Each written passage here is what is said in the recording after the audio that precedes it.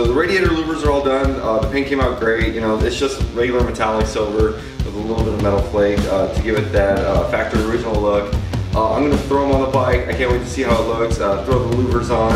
And uh, I'm not gonna put any fluid in them today, but I'm definitely gonna get it ready to go. So it'll be ready to go when we're done with the bike.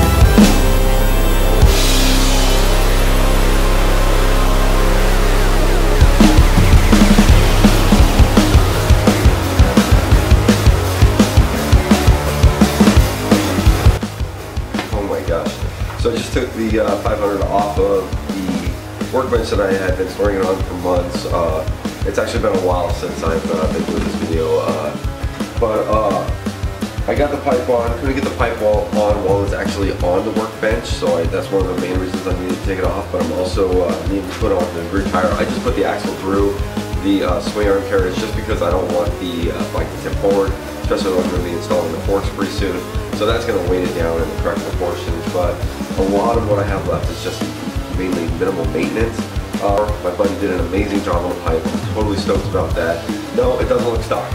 I mean, if you look at it, you're going to be like, there's a welded patch here, but painted, it, it's it's smooth. I mean, it looks it looks decent. So I think when the uh, overall bike is completed, you know, uh, my plan now, nowadays is to actually put this on eBay.